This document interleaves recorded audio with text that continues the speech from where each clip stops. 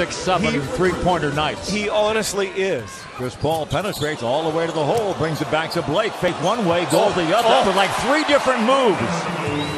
Direct feed. JJ. Yeah. Third try, got a bounce. And think about it. JJ's had some games in this recent spell where he's had balls rattle in and go out. He's been on the unlucky side. Tonight gets that one to go. Uh oh. Loses the basketball. can't just throw it to the other team. Beautiful move to the goal. Blake kind of pointed to his mind right there after he scored, like, yeah, that's how I need to play. Play smart, but play strong. Griffin for three. Bingo. That's that Yeah. four man knocking down the three ball. Unheard of, you know, just a decade ago. Redick steps inside the three point circle and knocks down his fifth mid range jump shot. If they go right back to this little pick and there it is again. Hunt for the lead. Something like that? No. Off the glass, bank it in. That looked more like a Blake in college play, honestly. Collision, no whistle, 10 on the clock. Backs down. Good look for JJ.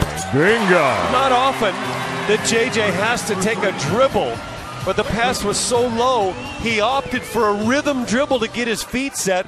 And what a first half shooting performance he's putting on. Four in the shot clock. CP3 can have to do it himself. No, Griffin. He got it off in time. Bingo. How about that? Well, how about the way he's been shooting lately?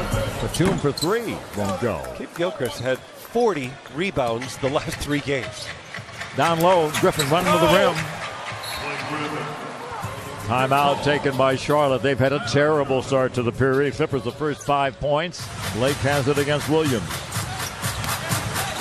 Too big, too strong, too good. But I like how that move started. Paul works his way down the lane.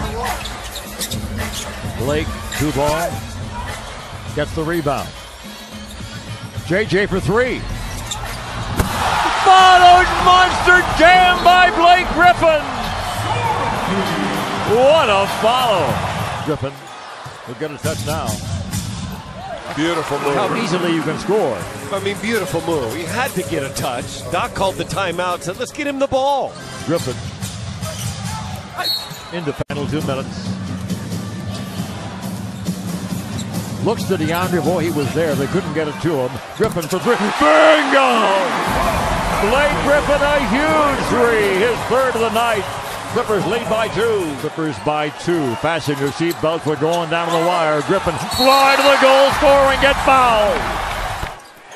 Free throw is good to the delight of the crowd. Clippers by five. 48 seconds to go. Here come the Hornets in a hurry.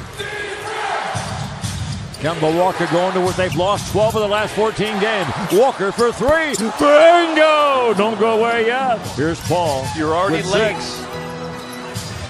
Tough shot from the corner. Uh-oh. Oh, here comes Walker. Rivers retreats and fouls. Oh, he could have made that, Well, that would and have been had a disastrous. free throw for the lead. Can he tie the game now? Yes, he can. Give him credit. Seatbelts fastened as tight as you can get them. 11 seconds to go, tie ball game. Look where they're going. I love it. Paul works here against Walker. Four, three, two, jump shot for the win. No! Overtime. Here's Paul. Hands it off to Redick. Good hard bounce pass right at the rim to Blake Griffin. Pretty play for Griffin against Batum. Batum is everywhere defensively. Got the foul. Paul to Blake Griffin. Hard to the goal. Shot was blocked. But a foul is called. Free throws for Blake Griffin. Bounce, rolls, falls in. Clippers by a point. They get it to Walker. Hounded by Paul. Throws the ball wildly away.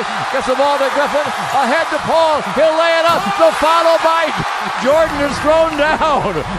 Oh, and the game is over. And the LA Clippers win a squeaker. We're going to have to learn some lessons from this one for sure. You'd rather learn a lesson in a win than in a loss. And that is the situation here. The Clippers' final tally 124 to 121 over a courageous group of Hornets. Playing without some key players and then losing two more, Kidd-Gilchrist and Kaminsky, to fouls. Uh, that's really quite a job by the Hornets, but the Clippers get the victory by a final tally in overtime of 124 to 121. Heroes all over the court for both these basketball teams. Griffin with 43, Jordan 20 and 19, Paul 15 points and 17 assists, and here's Christina Payne. Thank you, Ralph. Well, uh, the Hornets did not make it easy on you guys, sending this one to overtime. But how were you guys able to close this one out late in a back and forth battle?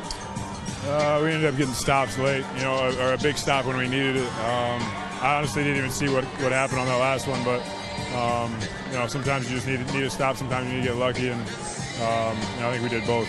Your free throw helped put this one away, but you made big plays on both ends the rebounds and the scoring. You finished with 43 points, a season high for you. What allowed you to get going, especially in the final minutes of this game? Uh, just our offense. I mean, we, we, we, were running our offense really well. Guys were hitting shots, um, so they couldn't really double. Um, know, and, and, you know some of them fell, but you know, I got to do a better job down the stretch hitting free throws uh, to close out games. How much of a difference does it have? Is it having Chris Paul on the floor in the final minutes of a game? Yeah, it's huge. I mean, a guy like that's irreplaceable. Um, so to have him out there, kind of directing traffic, uh, the big guy right here